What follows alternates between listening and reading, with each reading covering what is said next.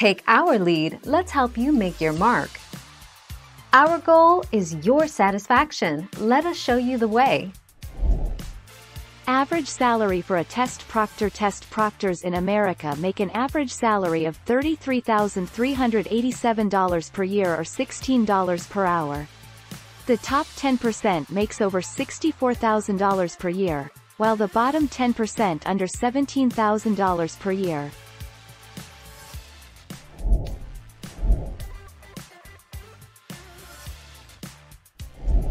Let's help you make your mark. Test proctors supervise the testing of large numbers of students at high schools, universities, colleges, vocational schools and testing centers. Most proctoring jobs are part-time positions available to individuals who have at least a high school diploma or general education diploma. Thank you for watching. Please subscribe and hit the bell notification.